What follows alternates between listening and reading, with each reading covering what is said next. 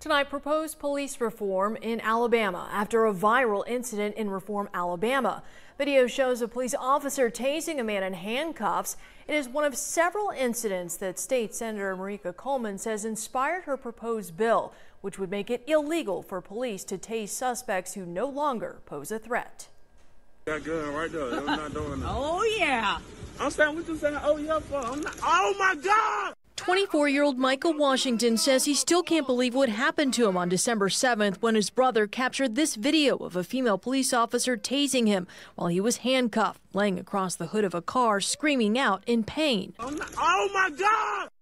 Okay, okay, okay, I'm done. That video really traumatizing for real. Like I can't watch that video. Like I don't even like to really think about it. And as we watched, the young man was complying. He was no longer a threat.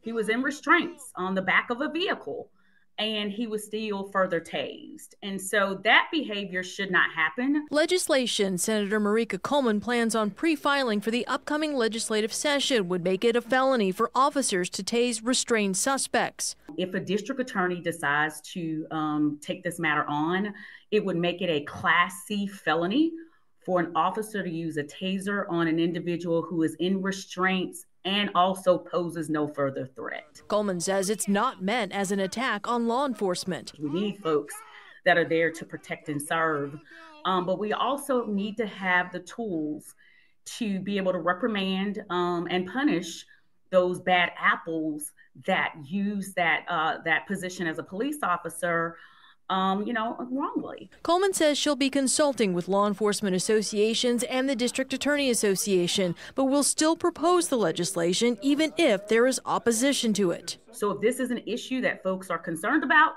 care about, please let their legislators know that they want a piece of legislation passed that prevents law enforcement officers from tasing um, individuals while they were restrained and no longer pose a threat.